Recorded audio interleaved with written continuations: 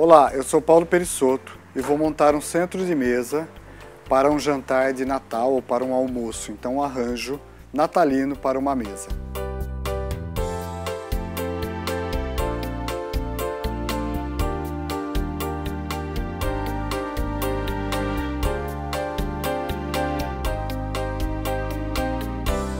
Eu vou fazer um arranjo, um centro de mesa baixo para uma mesa de jantar e vou usar magnólias, pinhas, essa rena feita de patchouli,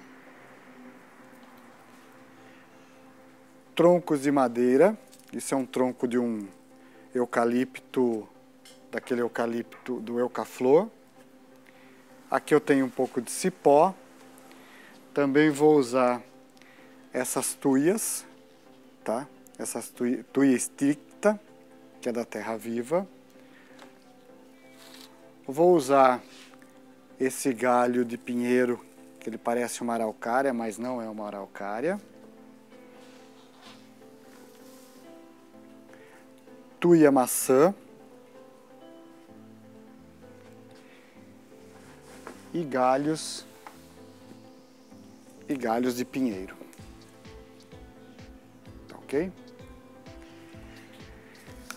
Bom, para começar, como é que eu fiz esse palito, né? Aqui no, no tronco. Eu fiz um furo aqui, né?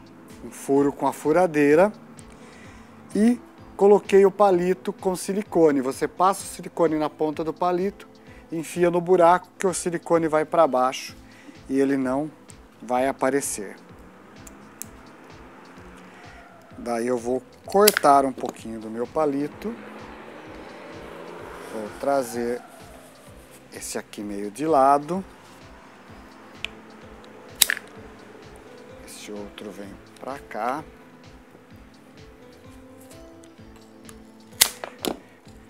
Este outro vem aqui.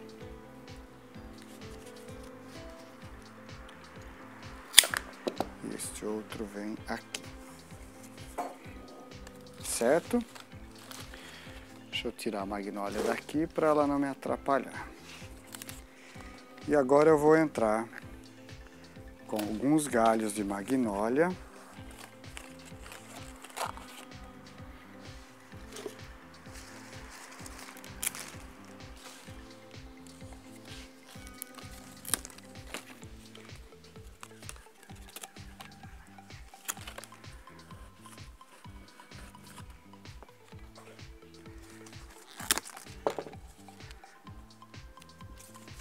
Mais um outro tronquinho de magnólia para cá. Depois eu entro com as pinhas. Olha o movimento desse galho. Então vamos aproveitar este movimento.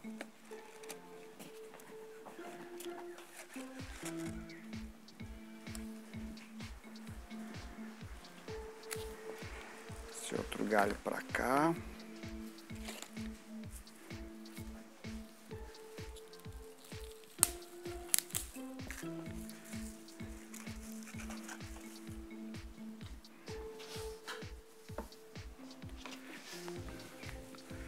Tem um outro galho bonito aqui que eu posso aproveitar o movimento. Entrando com ele mais aqui.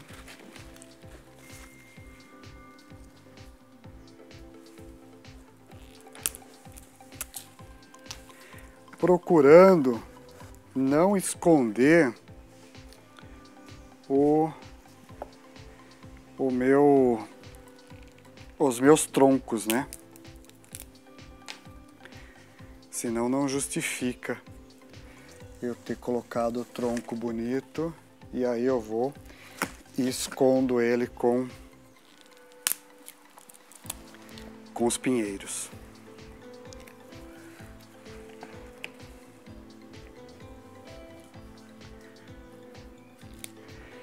Então, um pouquinho com essa tuia maçã, mais aqui por baixo, escondendo um pouco a espuma floral escondendo a bandeja.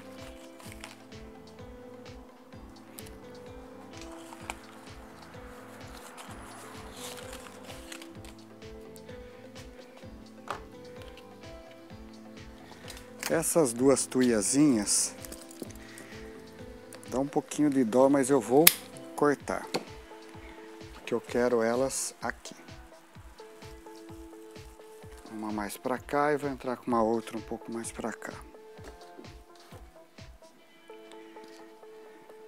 E esta outra eu vou trazer ela para cá. Para aparecer duas árvorezinhas.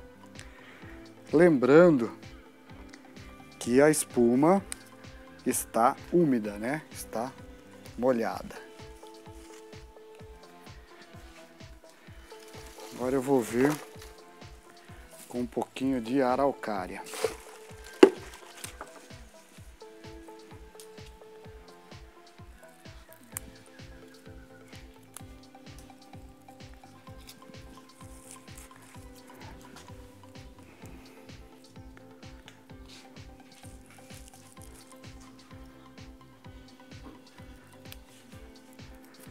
Então isso vai criando texturas diferentes para o meu arranjo. Né? Então eu vou criando várias texturas com esses pinheiros. Então eu estou entrando com a araucária, que está dando um outro, uma outra textura.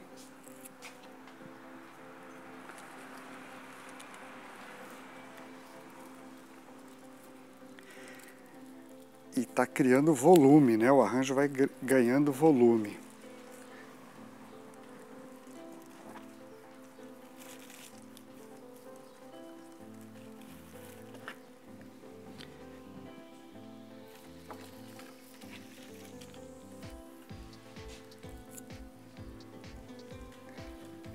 Então, olha, ele vai ganhando aqui volume.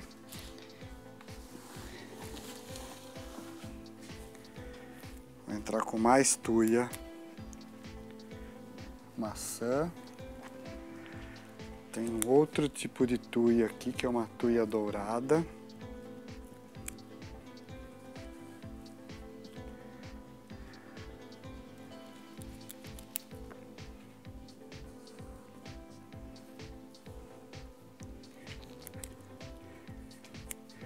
E aí nós vamos cobrindo a espuma. Essas tuias, procurando não esconder os troncos de madeira, procurando também valorizar esse esses galhos de cedrinho que eu coloquei aqui, né, de pinheiro que eu coloquei aqui.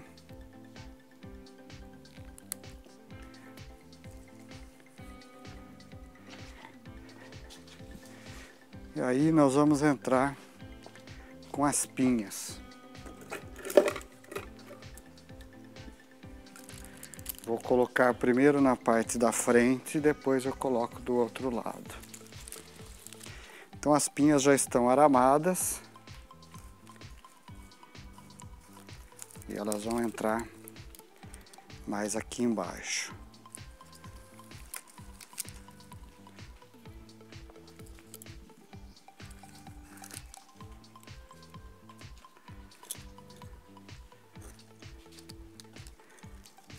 Também vem ajudando a esconder um pouquinho da espuma que às vezes fica aparecendo.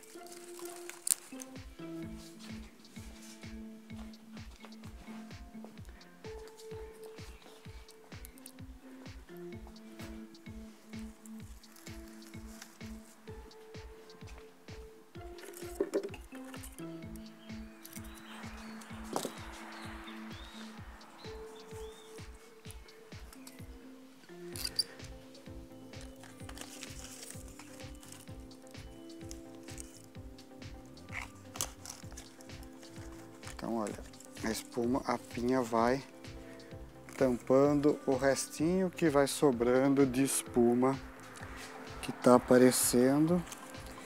Também ajuda a tampar a bandeja. Vou brincar com esse cipó agora, solto aqui.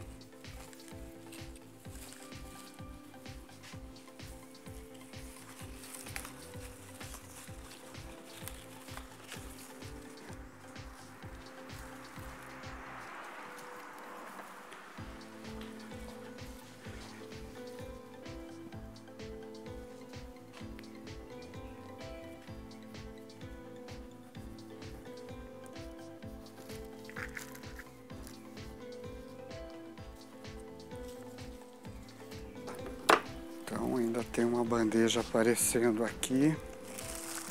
Vamos ver um.